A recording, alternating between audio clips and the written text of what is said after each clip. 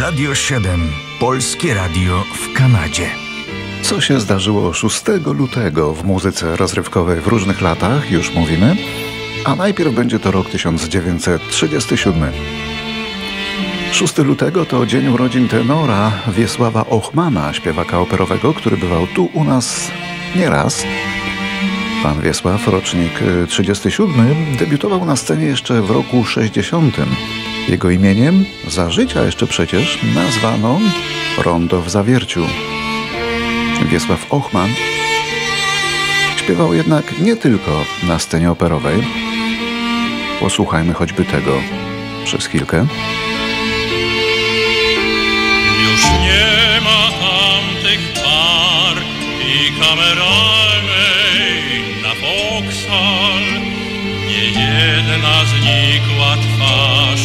I nagle puste są okna.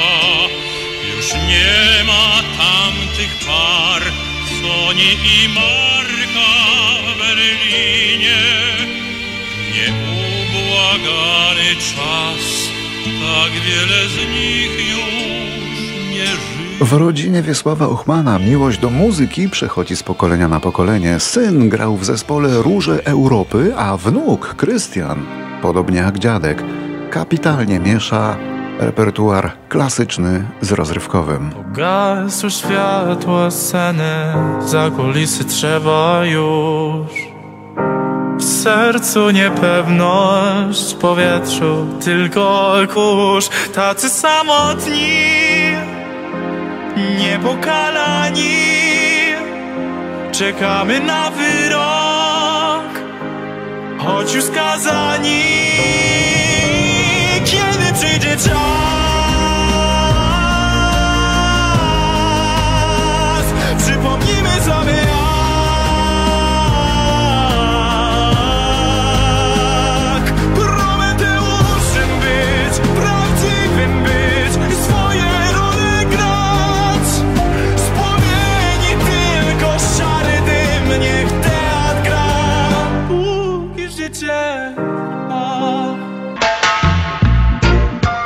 Teraz przenosimy się na Jamajkę. W końcu to jego dzień dzisiaj. Międzynarodowy Dzień Boba Marleya. Bo w 1945 roku urodził się tam na Jamajce Bob Marley. Bob Marley, czyli najsłynniejszy w dziejach przedstawiciel muzyki reggae i pewnie już tak na zawsze zostanie, bo to chyba największy dziś symbol kultury jamańskiej, jak sądzę.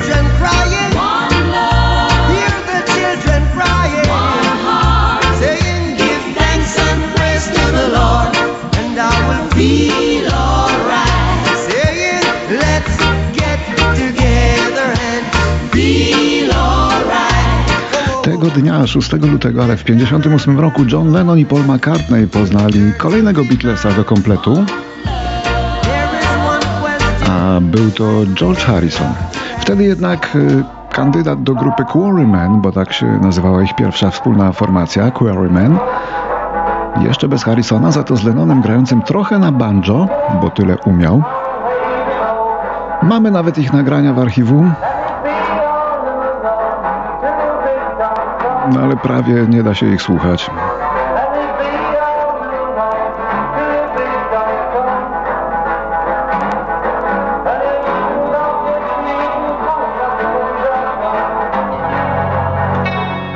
W 1962 urodziny. Ma dzisiaj Axel Rose, którego znamy jako wokalistę Guns N' Roses, ale nie tylko tam, bo przez wiele lat Axel Rose, rocznik 62, był także wokalistą kolejnym w legendarnej formacji ACDC. To jedyny znany przypadek, aby bardzo znany wokalista był jednocześnie członkiem dwóch różnych bardzo znanych zespołów w tym samym czasie. Trzeba mieć zdrowie, a to przecież rocznik 62.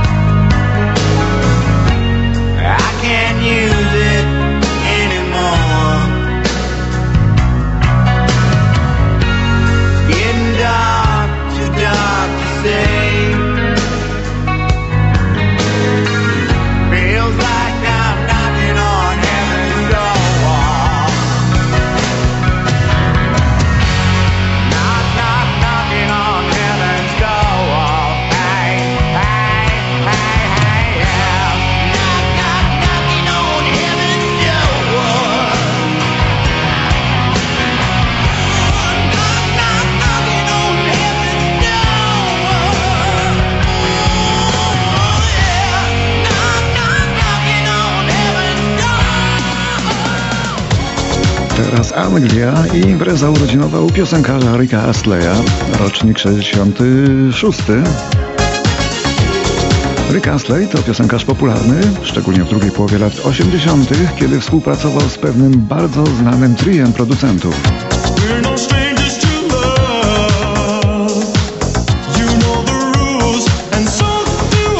To trio Stock, Aitken i Waterman słynęło z tego, że jak chcieli, to mogli wylansować każde beztalencie. Mieli złotą rękę do pisania przebojów i stworzyli ich naprawdę wiele. Rick Astley to jeden z ich produktów, a było ich wiele.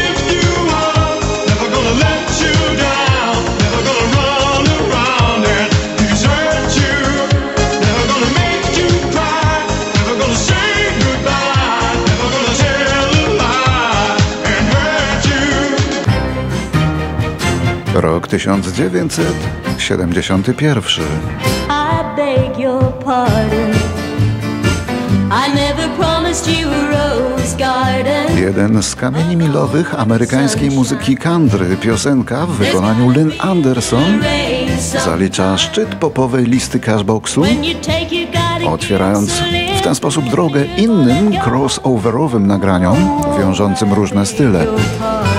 To piosenka Rose Garden. never promised you a rose garden.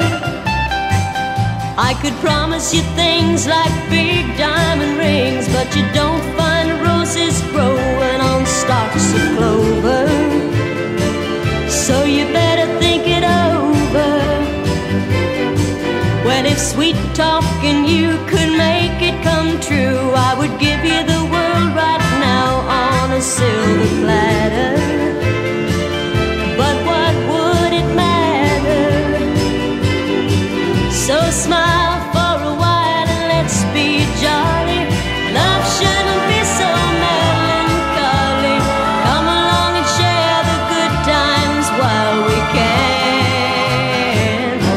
Przeskakujemy do roku 90.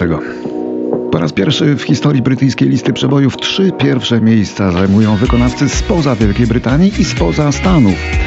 Tak się jeszcze nigdy wcześniej i później nie zdarzyło.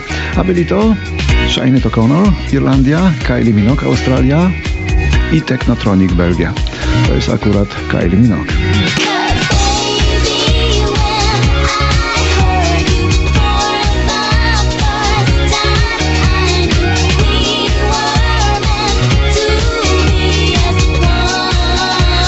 Ten dzień, 6 lutego, przyniósł dwie smutne wiadomości, obie tego samego dnia.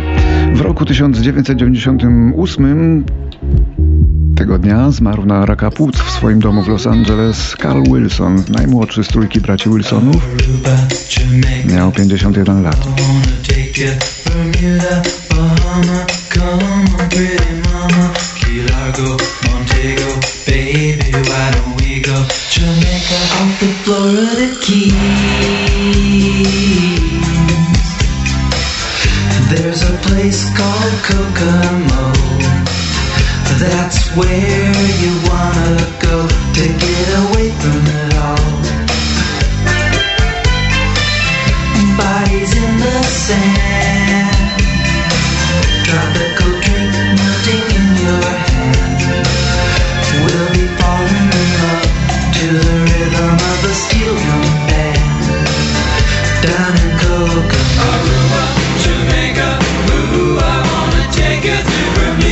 Tego samego dnia, w roku 98, na Karaibach w wypadku samochodowym zginął austriacki wokalista i kompozytor Falco. Falco to chyba najbardziej znany śpiewający Austriak. Jego największy przebój to Rock Me Amadeus, ale miał ich dużo, dużo więcej.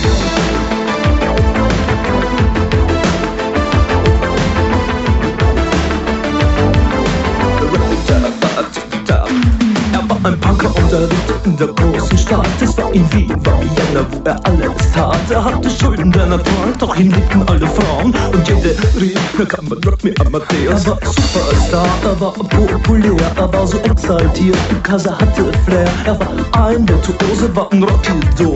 Und alles rief, na kann man Rock me Amadeus. Du mit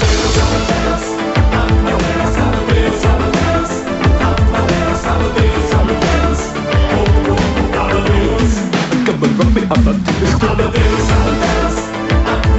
Amadeus, Amadeus. Kolejna rocznica śmierci, nie ostatnia.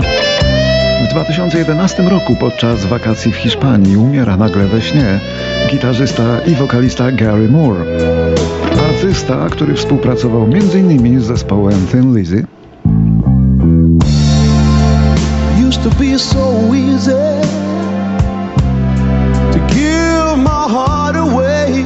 można mieć w domowej kolekcji nawet tysiąc płyt i więcej, ale jak się nie ma tej jednej, to ta kolekcja niewiele jest warta.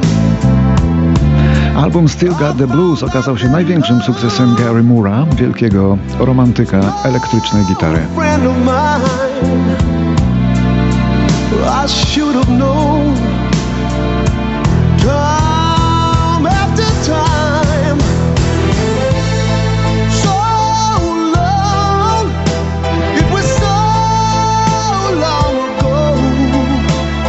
I've still got the blues for you.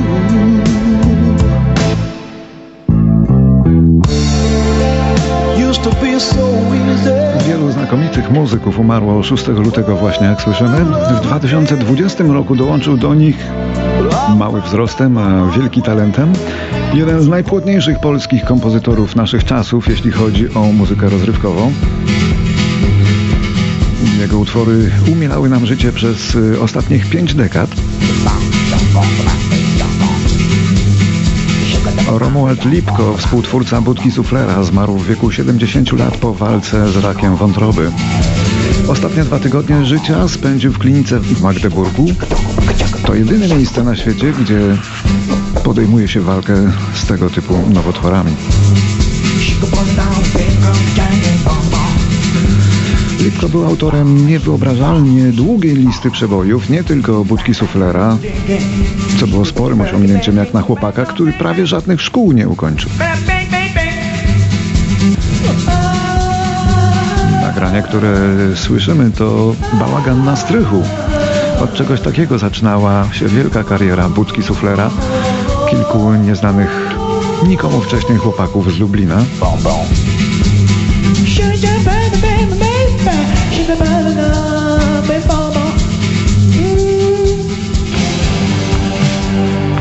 Ale Lipko pisał piosenki m.in. też dla Anny Jantar, dla Urszuli, dla Ireny Jarockiej, Zdzisławy Sośnickiej, Izabeli Trojanowskiej, Ireny Santor, Eleni. Możemy tak wymieniać. Głównie dla pań pisał, jak z tego wynika. Zakończymy jednak e, nagraniem z repertuaru Budki, jednym z tych najbardziej klasycznych, tych, które zadecydowały już dawno temu o wielkości tego zespołu. Uderzył deszcz, wybuchła noc, przy drodze pusty dwór. W katedrach drzew, w przyłbicach gór, Wagnerowski to.